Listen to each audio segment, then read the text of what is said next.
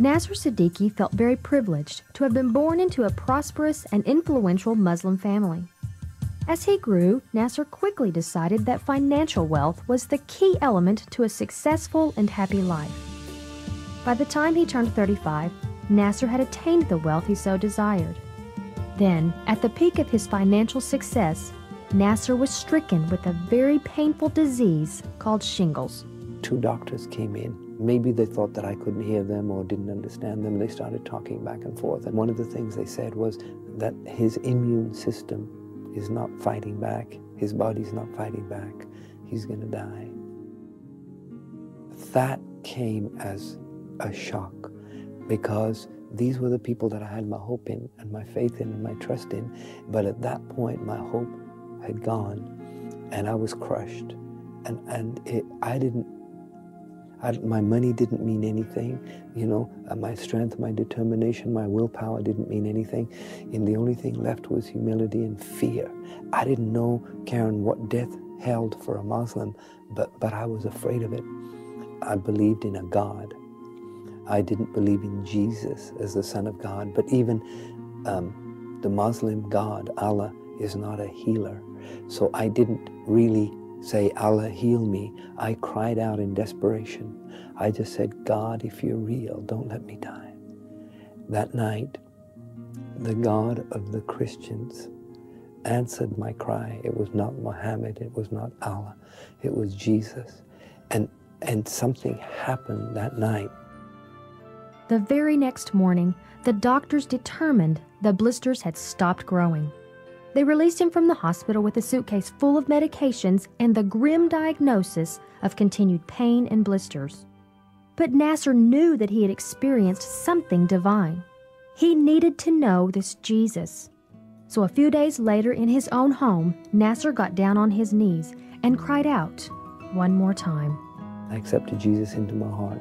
And, and I got so excited, I didn't I didn't know what born again means. I didn't know any of the Christianese language. All I knew was that this Jesus that had healed me was now in my heart. Just a few days later, every one of the blisters and all of the disfigured flesh fell away from Nasir's body. The physical evidence of his miracle increased his desire to know God, so he bought a Bible and began to consume the Word. Nasir shared the news of his physical and spiritual transformation with his coworker and closest friend. Anita was a Christian woman who had been a constant support to Nasir throughout his illness, and she was eager to supply him with materials from Kenneth Hagin and Kenneth Copeland Ministries. As Nasir's knowledge of the Word and his love for the Lord developed, so did his relationship with Anita.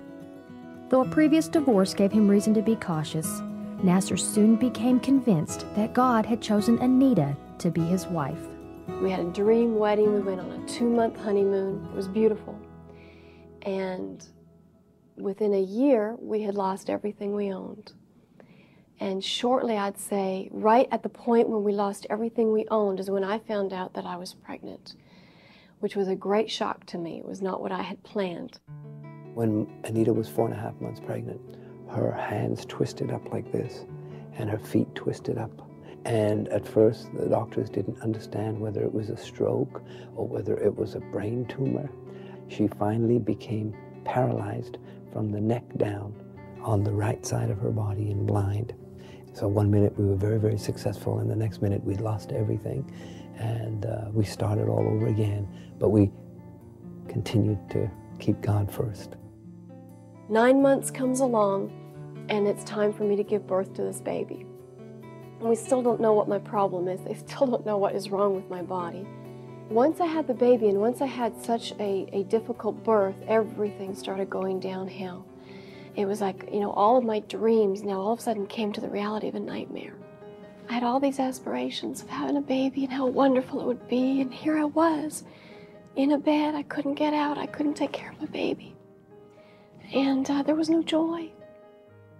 They diagnosed multiple sclerosis, said that she would be a cripple all of her life. We had to hang on to the Word of God that Anita would come out of this. When the situation looked impossible, I would always remember how much more impossible was a Muslim about to go to hell. And Jesus came. And if Jesus would come for a dying Muslim, Now I'm serving the Lord. My wife is serving the Lord. He's blessed us with a child. Would he not be faithful? I believe that God healed, and I watched God heal my husband. But man, when you can't get out of your bed, when you can't see your baby, when you can't um, stand on your own two feet, all of a sudden the rubber met the road. And I went to God and I said, Okay, God, I have MS. And now I need healing from MS. Nasir used their limited funds to purchase a continuous play tape recorder and every healing tape by Kenneth Hagin. Anita listened day and night. And as she remained constant in her faith, the attacks on her body began to diminish, and within two and a half years, every trace of multiple sclerosis had disappeared from her body. Anita was finally free to be a wife and a mother, to live in the reality of her dream. When I look at my life, when I look at my family's life without crying, it's an absolute miracle. You know, when you think about what God has done for us, the fact that I'm even alive is a major blessing. And Anita is healed.